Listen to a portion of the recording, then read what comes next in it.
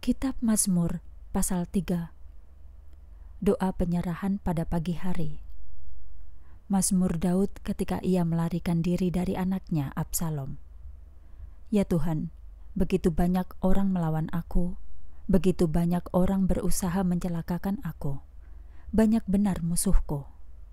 Begitu banyak orang yang mengatakan bahwa Allah tidak akan menolong aku. Tetapi Tuhan, Engkaulah perisaiku, kemuliaanku, dan satu-satunya pengharapanku.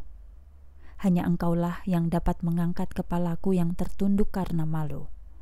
Aku berseru kepada Tuhan, dan Ia mendengar aku dari tempat kediamannya di Yerusalem. Kemudian aku membaringkan diri dan tidur dengan tenang, dan bangun lagi dengan aman, karena Tuhan menjaga aku.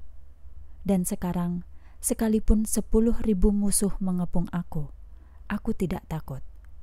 Aku akan berseru kepadanya, Bangkitlah ya Tuhan, selamatkanlah aku ya Allahku.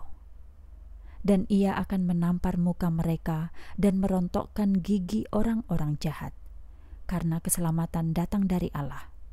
Betapa besar sukacita yang diberikan Allah kepada umatnya.